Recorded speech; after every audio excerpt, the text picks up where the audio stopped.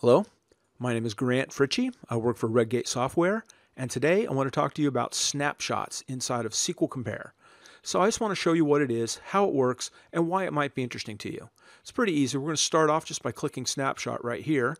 Now, if we had existing snapshots, they could be listed out and we could look them up and track them down, but we don't have one yet.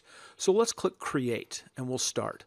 Now, the source for the snapshot could be a number of different places. You could create a, from a database, a backup, another snapshot, source controller, scripts folder. Now we'll start from a database. So I have to pick my server. Um, to use Windows Authentication, and then I'm going to pick a, uh, a simple database that I have set up for doing testing called Movie Management. Now we can create uh, the name and you can decide where you want to put it, um, whether you're storing it locally because this is all your kind of work, or if you want to put it into a network share for use with other team members so that they've got work off the same snapshot, you can. We can auto detect case sensitivity or turn that off.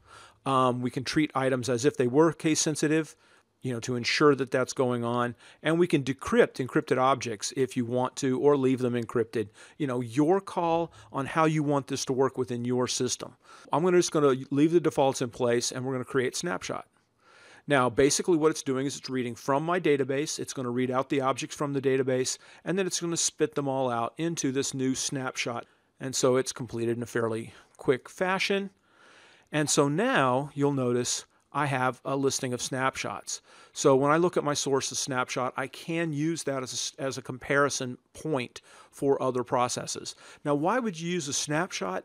Well, because it is a, basically a script only source. So it's a way to, to mark um, a point in time of your database or of your backups or anything else that you can then use to compare to other databases, other backups, or, or again, a snapshot, or even source controller scripts. I mean, there's any number of ways you can go about it.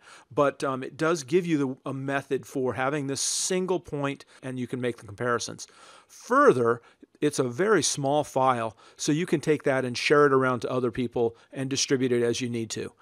That's it. I just wanted to introduce you to the concept of the snapshot inside of SQL Compare. Thanks for listening. My name is Grant Fritchey. I work for Redgate Software.